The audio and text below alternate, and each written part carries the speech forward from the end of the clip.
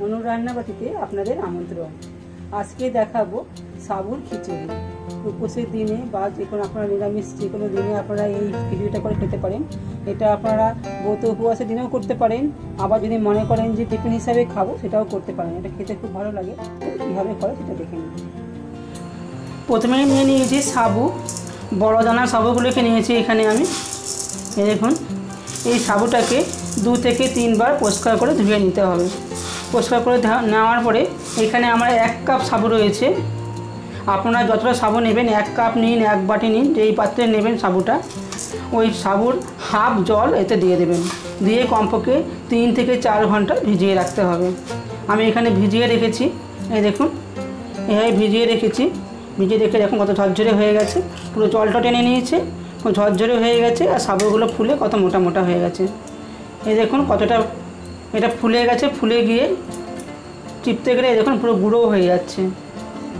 কিন্তু জলটা এক্সেস হয়নি, পুরো জলটা একদম এতে টেনে নিয়েছে। আলু, আলুটাকে সেদ্ধ করে খোসা ছাড়িয়ে আমি টুকরো টুকরো করে কেটে নিয়েছি। এইখানে নিয়েছি ধনে পাতা কুচি,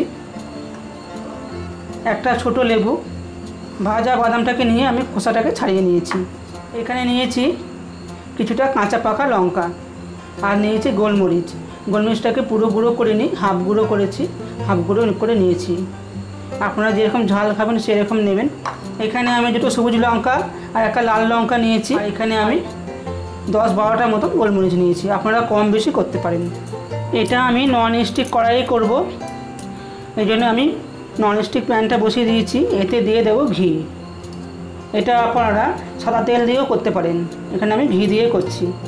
তিন চামচ ঘি দেবো। ঘিটা গরম হয়ে গেছে। এবার দিয়ে দেব জিরে। জিরেটাকে ফুটতে দেব। জিরেটা ফুটে গেছে। এবার এতে দিয়ে দেব সামান্য হলুদ। এতে কালারটা ভালো হবে। খুব সামান্যই দেবো, খুব বেশি দেবো না। এবার দিয়ে দেব লঙ্কা, কাঁচা পাকা লঙ্কা।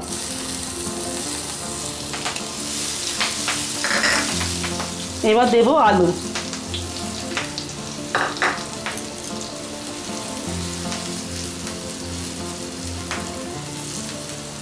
এবার দেবো গোলমরিচের গুঁড়োটা। এটা গোলমরিচ সাথে করে রেখেছি, সেই গোলমরিচের গুঁড়োটা দিয়ে দিচ্ছি।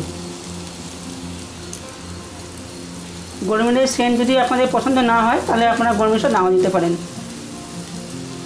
এবার দিয়ে দেবো বাদাম।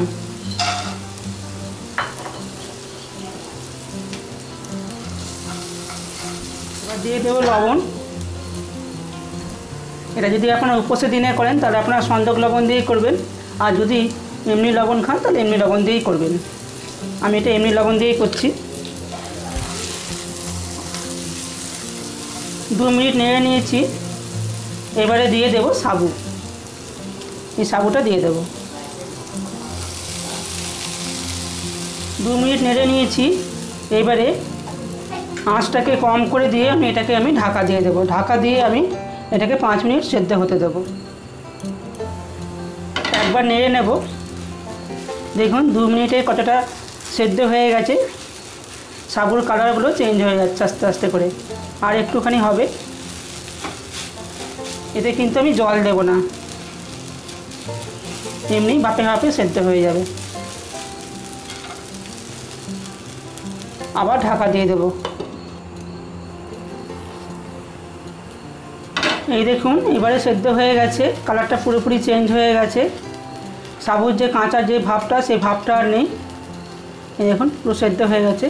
এবারে আমি এটা দিয়ে দেব ধনে পাতা।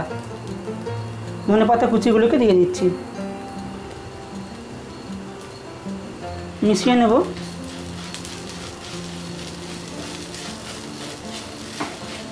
সবার লাস্টে দিয়ে দেব লেবু। লেবুর রসগুলোকে চিপে দিয়ে দেবো।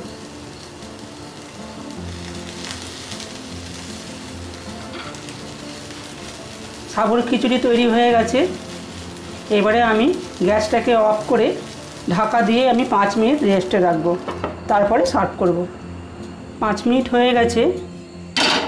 দেখুন কতটা ঝরঝরে হয়েছে। এবারে আমি সার্ভ করে দেবো।